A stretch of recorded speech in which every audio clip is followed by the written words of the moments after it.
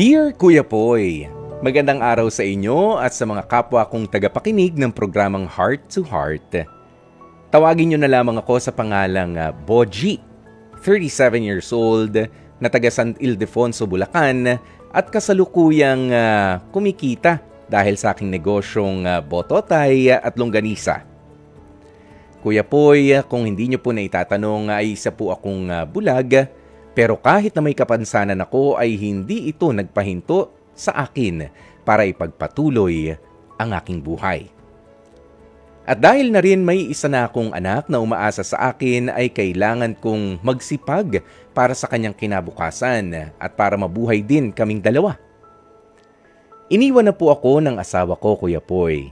Kaya naman isa po akong single dad Masakit man pero pinili ni May na sumama sa ibang lalaki. Tumagal din ng limang taon ang aming relasyon ni May. Pero bago tuluyang pumasok sa aking buhay si May ay meron na itong apat na anak mula sa una niyang nakapartner. Pero sa kabila noon ay nagawa ko siyang tanggapin ng buong buo nang walang pag-aalinlangan. Kuya Poy, minahal ko si May kahit na anim na taon ang tanda niya sa akin. Ganyan naman ang pag-ibig, hindi ba? Walang pinipiling edad. Basta totoo at tapat ang nararamdaman mo, ay kakalimutan mo na ito. Naging maayos naman ang pagsasama namin ni May sa loob ng limang taon at ang akala kong forever ay napurnada matapos mag-iba ang pakikitungo niya sa akin. Noong una, Kuya Poy, akala ko eh pabebe lang itong si May. Pero noong tumagal-tagal na, nalaman kong iba na pala ang takbo ng isipan ng aking karelasyon. Matapos na magsumbong sa akin ang mga pamangkin ko na nakita nila itong may ibang kachat at kaukausap sa phone.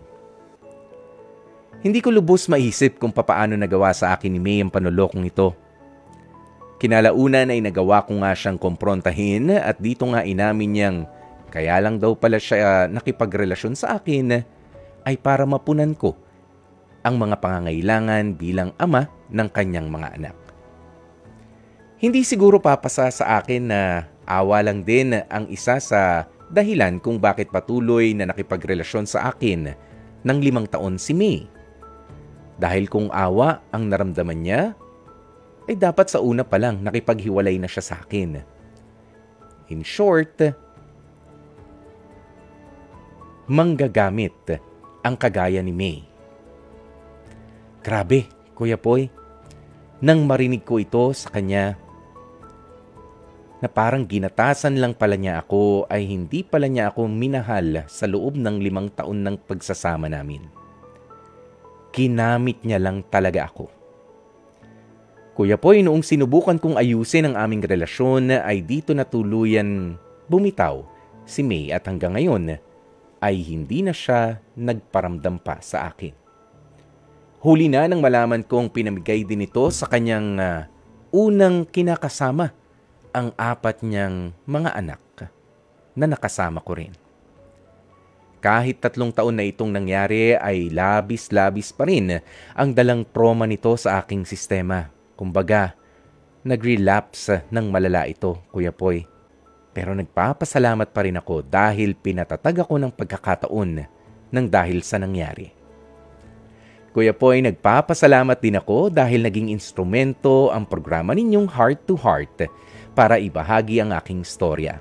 At sana ay marami ang nakuha ninyong aral sa aking kwento. Lubos na gumagalang, Boji.